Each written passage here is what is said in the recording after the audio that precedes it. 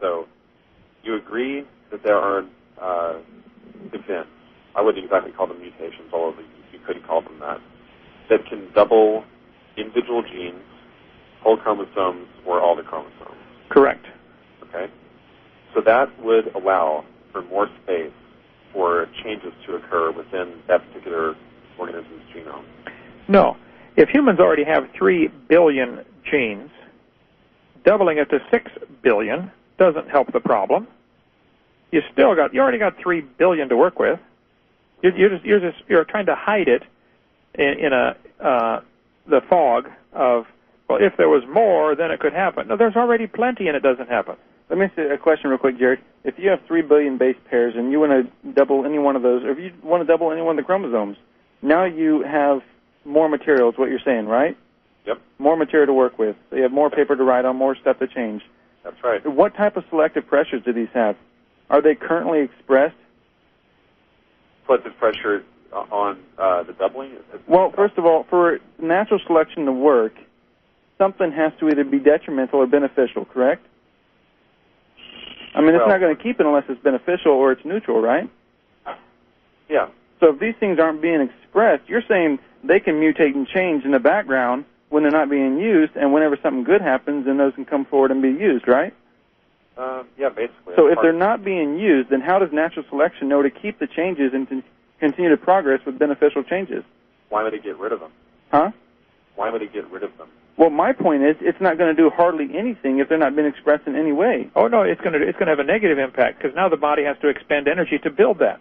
Well, barely. I mean, well, anything. I mean, let's look at that. That's what evolution process is. I mean, it's, it's dragging around extra weight, eating up extra energy, and it's doing yeah, nothing. Hovind, you have like two tablespoons of DNA in your body. Come on. Right. That's nothing. I mean, I'm a 200 pound guy. Two tablespoons of DNA doesn't mean anything. Well, let's take a let's take a paramecium. They don't weigh 200 pounds.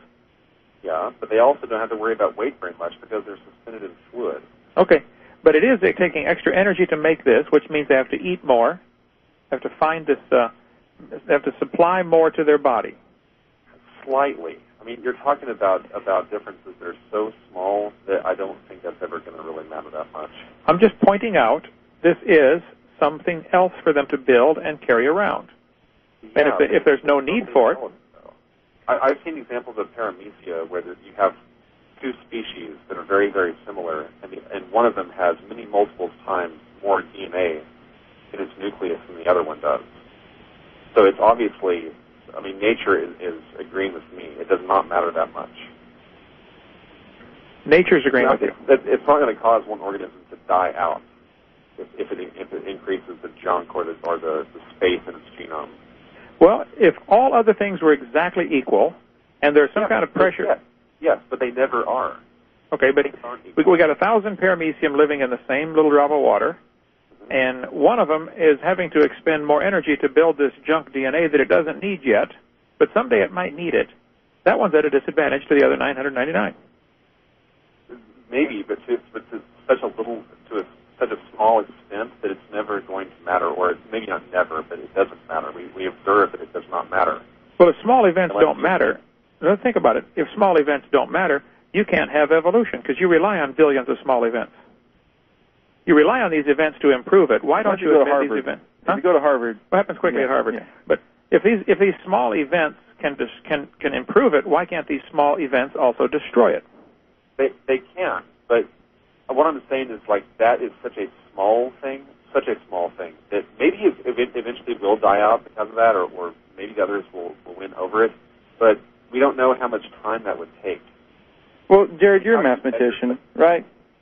I mean, Yeah. you look at the the ratio of beneficial uh, and neutral mutations to detrimental ones that are also, you know, often life destroying. It's like ten thousand to one. I mean, I, I don't know what the ratio is. I, I will be interested in learning. That. oh well, yeah, but you know, for yourself, look into the ratio. And you're math. This is right up your alley. You're a mathematician. Just check it out and try to figure out that. And I, I'm honestly saying that from my knowledge, I believe it's about ten thousand to one. So, and I encourage you to check that out. And correct me if I'm wrong. But just check that out and see that if that is, you know, it's, just see if that's sufficient mathematically to give us all the diversity we have today. You know, Yeah, make that you know a side project for yourself. This, this is already one of the things on my list. uh, that I want to study actually. So I, I can't quite comment on that yet. Yeah, I know that. That's just something for you to check out in the future. Well, there's something else you can help me with, Jared. Years, uh, 40 years ago, Disney produced a Donald Duck cartoon called Donald in Mathmagic Land. Yeah, I've seen it. I would like to get a copy of that. The I one thought with we the have one. exam in his hand. He goes through the Fibonacci sequence, the uh, golden mean ratio, Yeah, yeah. It's the one where he where it has the pentagram on his hand. right? The pentagram on his hand, correct? Yeah, yeah. I saw that when I was in fifth grade actually. I know. We, I thought we had it in our library too, but I can't find it. Anyway, I saw it just about maybe three, four months ago. They were showing how uh, the pool shark guy was over there just knocking the balls around perfectly on the pool table. I was going to learn it so I could win some money at the pool hall, but I just couldn't get my math down that good. So, you got to be good at geometry. yeah. Well, actually, yeah, probably geometry.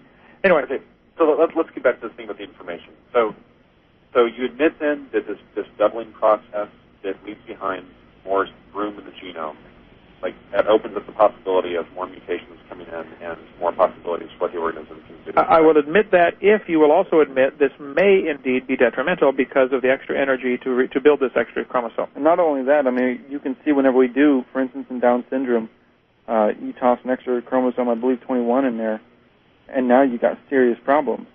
I mean, sure, you have more base pairs now to, you know, for raw material mutations and so forth. Right. And when you double the number of chromosomes in a strawberry with polyploidy, they don't taste as good. They're huge, but they're just like eating cardboard. So it's not always whenever you want to copy something. That's not always good. It's, it's but yes, okay, Jared, I will agree. Yes, chromosomes can double, and you now have ex- exact copy of the information. So this is more space for mutations to take place.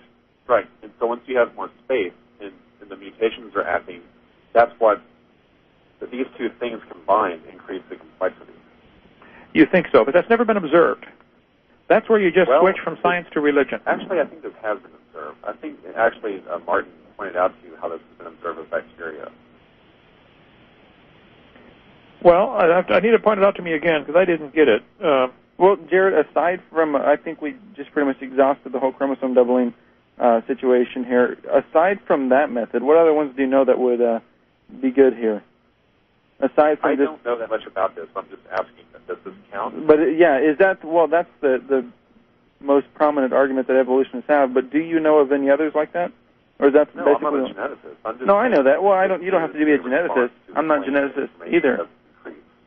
I'm just saying this is probably the most argued uh, thing right here is polyploidy or you know doubling chromosomes and so forth like that. If that was really the way that things happen, then looking back, shouldn't we be able to build a little tree, a branching here to see you know to see how these creatures evolved and came in line to look at where the chromosome numbers are increasing and so forth? Oh no, there's there's so many possible paths to lead to the genomes of, of living species. That's what I'm asking you. What are some of the other ones? Some of are what? Well, you just said that uh, one of the major ways that evolution can take place is by doubling the chromosome numbers, which gives you more raw information. You know, you've got three billion base pairs. A way, yeah. That what, what are some other ones? Uh, doubling uh, sections of the chromosome, like doubling genes or doubling pseudogenes. Which is kind of the same thing, just on a smaller scale. Exactly, yeah, same idea. So it's yeah. That's all you need, though. I think I, I think that would be sufficient because if you've got uh, the space increasing and you've got mutations changing the information in the, in the new space, those two things together increase complexity. Okay, would, would you agree that most mutations are harmful or fatal? But we've got a break here. Stay stay with it if you'd like after the break. Well, I want to hear the answer to that. Are they harmful or fatal, and where's the good one? We'll be back, folks, in about one minute.